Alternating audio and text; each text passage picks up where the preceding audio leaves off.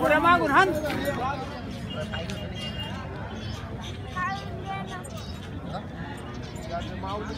Like, no, wake up, look.